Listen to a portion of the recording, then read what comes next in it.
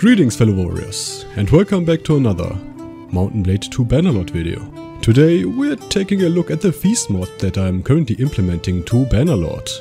Feasts were an integral part of Mount & Blade Warband and Viking Conquest, given King Harlaus had a little, let's say, too much fun with his feasts. But the system I'm implementing will have none of that shenanigans.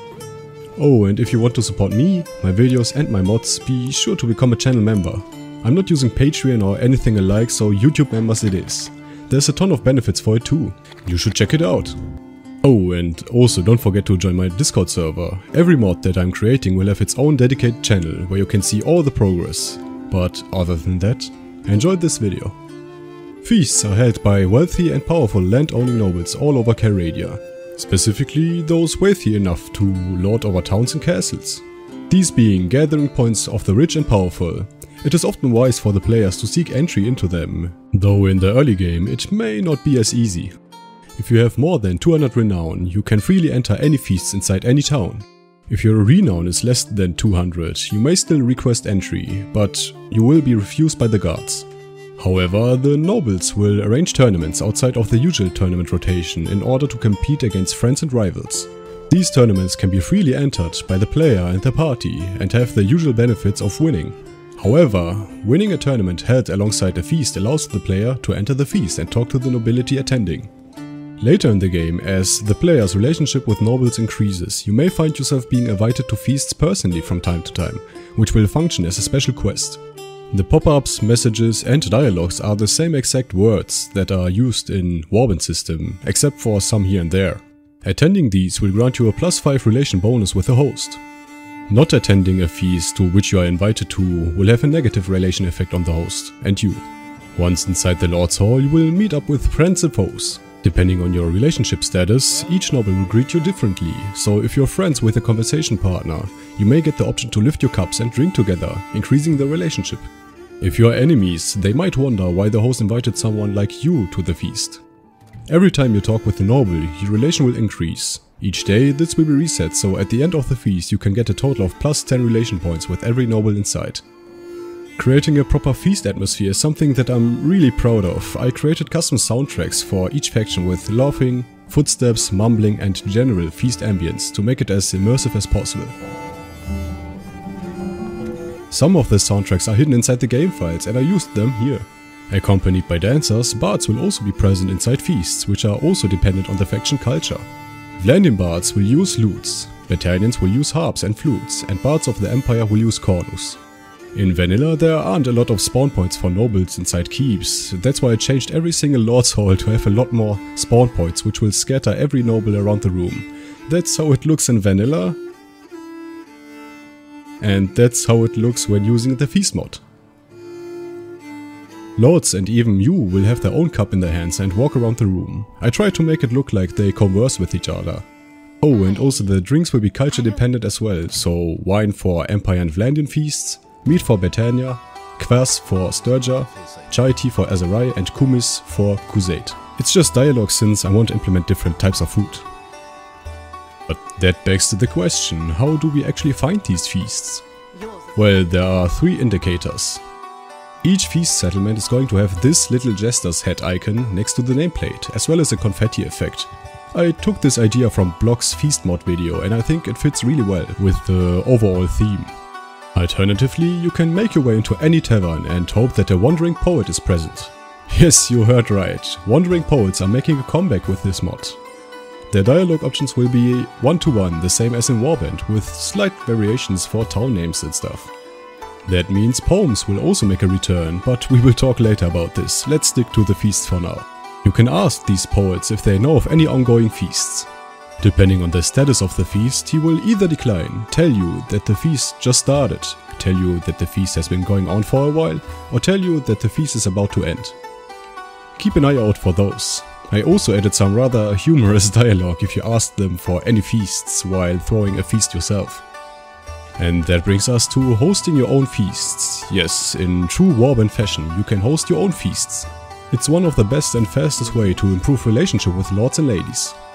To hold a feast on your own, you need to have a fief and a governor assigned to it, and feasts can only happen during peace times. If these conditions are met, you will get a new dialogue option called I was thinking that perhaps we could host a feast. Your governor will then tell you everything you need to know for a successful feast. For example, you need to have a lot of diverse food, spices to demonstrate that you spare no expenses as a host, and oil to light the lamps. You need to put all this stuff into the settlement stash, and your governor will re-evaluate the contents of the stash every time you talk to him.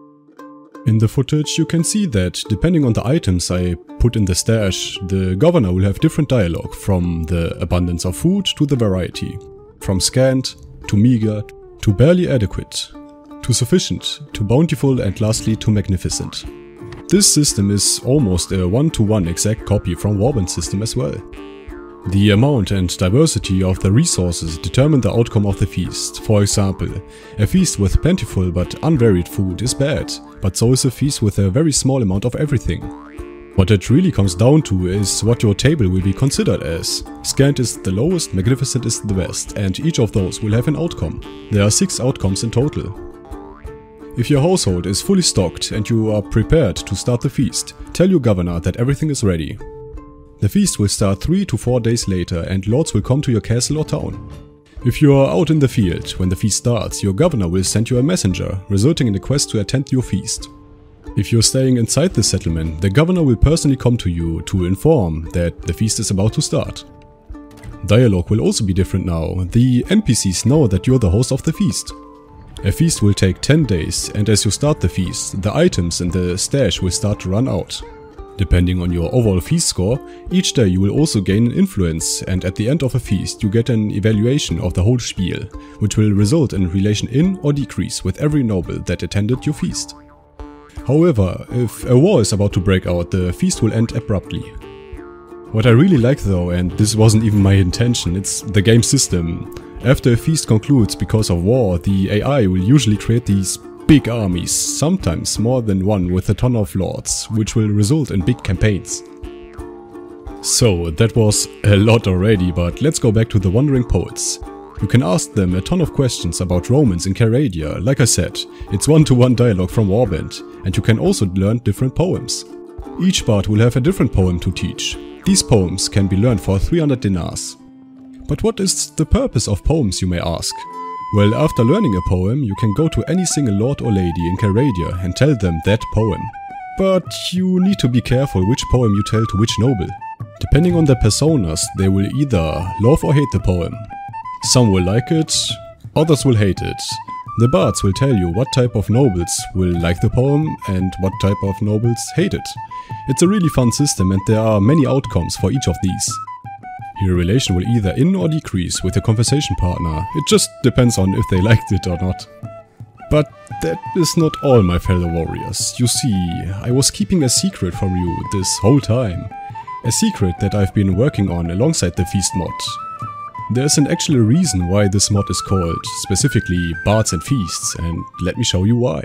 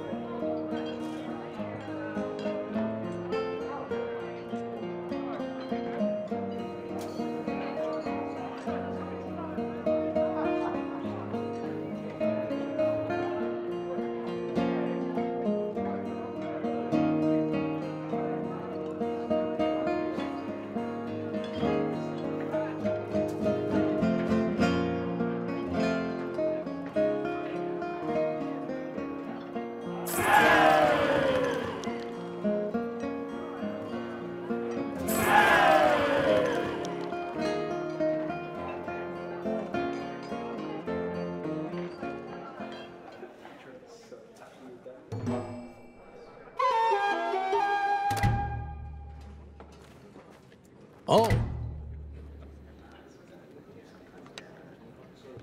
Aha, that's right, my soon-to-be bards. This mod also introduces the ability to become a wandering poet yourself, all with quests, a title and much more.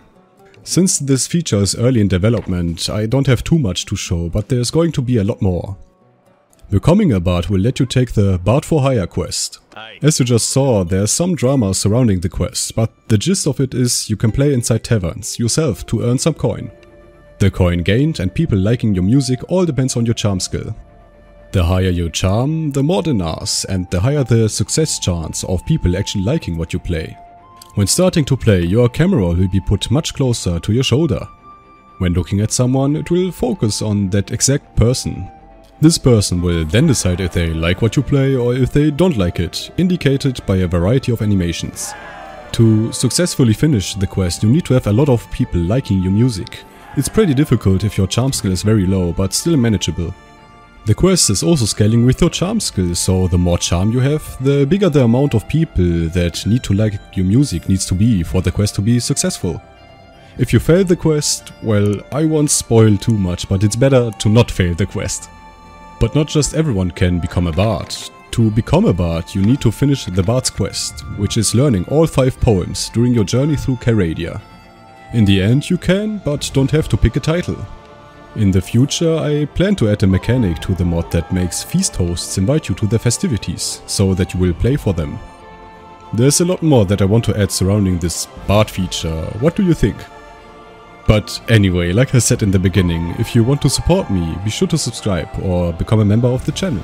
Also be sure to join my Discord server, where you can talk with me and other like-minded people about all kinds of stuff, and I see you all in my next video. Become a bard today and bye. Another huge thank you to Kabadog, Paralyzed, Ed China, Chains, Max, Clinky Man and all the other channel members for supporting the channel.